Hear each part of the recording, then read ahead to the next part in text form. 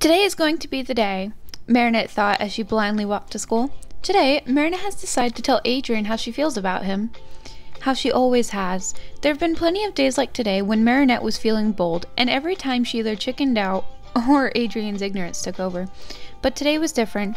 Today, everyone knows it's happening. Not just her, not just Alya, and not even just the girls of her class. Everyone in her class knows it's happening, except Adrien. Today after school, she thought as she approached the high school campus. Today, there was a plan, and for once, it wasn't some elaborate and super complicated plan that Marinette had come up with. This plan was devised by Alya. The plan was simple. Kim and Alix will pretend to get into another fight during class today, which will ultimately lead to yet another pointless race around the park. Today, Adrien doesn't have any plans after school, for which Alya was able to uncover due to Nino's peculiar nosiness.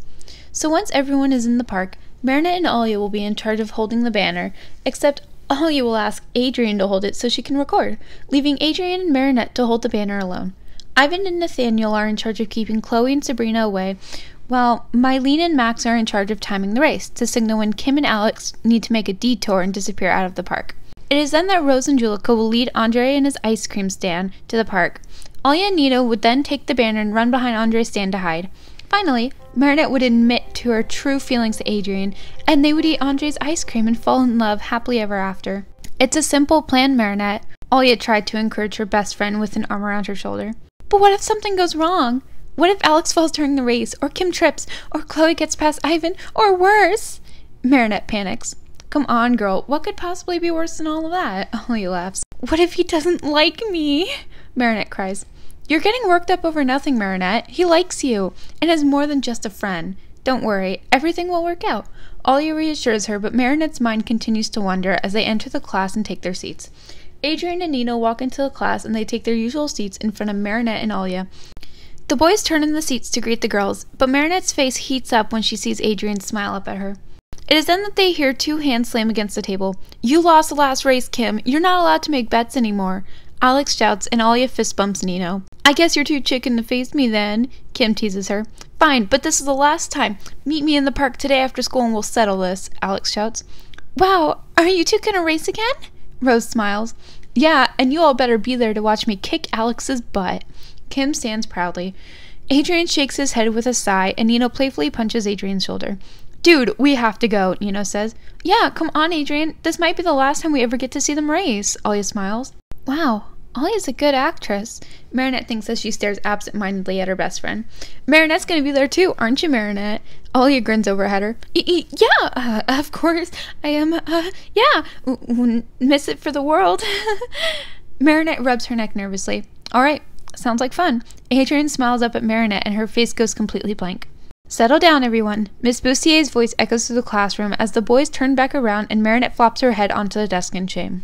After school, Marina and Alya are holding the banner as everyone watches Alix and Kim stretch. You ready for this, girl? Alya places a hand on her shoulder. Uh, I think so. Her face was flushed. As a hand was resting on her chest, she could feel her fast paced heartbeat, as if she had just run a marathon or she had turned the metronome up to the highest setting. Either way, quitting wasn't an option. Not today.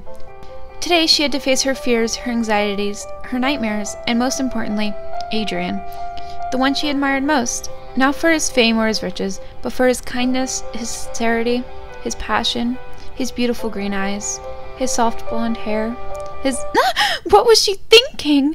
Oh, yeah, I, I can't do this. Marinette's nerves started to kick in as she looked over to her friend for help, but found Adrien Agreste in her place. At the opposite corner of the banner was Adrien. He was holding it tightly as he watched Alix and Kim. He felt someone's eyes on him as he looked down and locked eyes with Marinette. There was a moment of silence before Max started the timer and the sound of an air horn filled the tension between them. The two averted their gaze to the race and Marinette waited nervously. The plan was working. Was Alya secretly a genius? No, that's not possible. She already knew Alya was a genius. Alya is a pro at getting her ships to sail. And yet, she can't get Ladybug and Cat Noir to go on a date. Marinette laughed quietly, and Adrien looked down at her once again. What are you laughing at, Marinette? The race only just started. Adrien asks, and Marinette looks up at him with red cheeks and tinted ears. Oh, um, I was just thinking about Ladybug and Cat Noir. What about? He asks as he stepped a bit closer, letting the banner curve in on itself how Alya hasn't managed to get them out on a date yet. Marinette smiles anxiously. It's too bad. They seem like they'd make a great couple. Adrien blushes lightly and Marinette's eyes widen. They do? Oh, uh, that's just my opinion, anyways. He sighs before looking away. But it's not like that matters. What? Her eyebrows knit together as she looks up at him with concern. Where'd everyone go? Adrien asks as he looks around them. Huh? Marinette snaps out of her daze and looks ahead, seeing Andre's ice cream cart with Kagami standing next to it. Hey, Nino, can you hold this? I'll be right back. Adrien drops the banner into Nino's hands before quickly crossing the makeshift racetrack and jogging over to Kagami. Wait, Adrien! Nino shouts, but Adrien didn't hear him. Alya and Marinette exchanged worried glances before they both turned to the ice cream stand to see Rose and Juleka shrugging their shoulders. Alya steps away from Marinette to approach the two, but freezes in her place upon seeing Kagami's actions. Marinette's eyes start to water as she feels her heart sink. No, it didn't sink.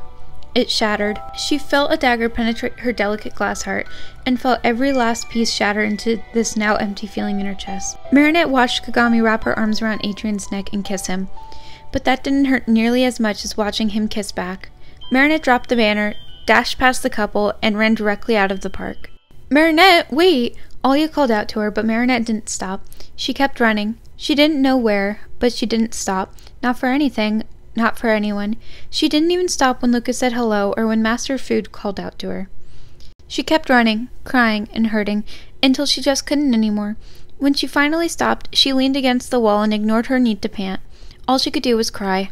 It wasn't long before she could hear her friends calling out for her. On a normal day, Marinette would feel grateful that so many people cared about her, but not today. Not now. Marinette, you need to calm down. Tikki tried to calm her. Why? There's no point. He, loves someone else.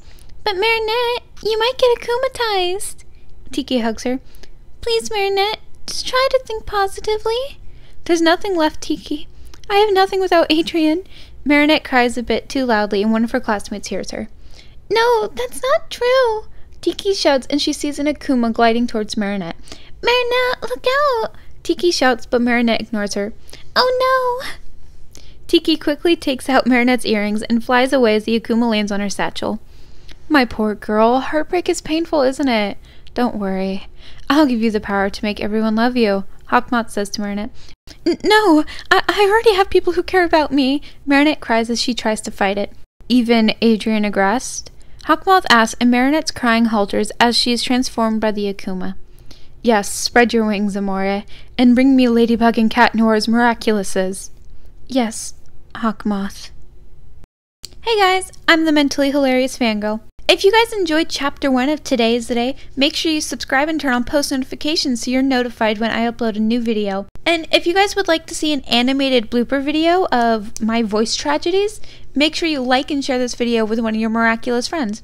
If I'm able to get this video up to 50 likes, then I'll post a blooper video. I hope you guys have a great rest of your day.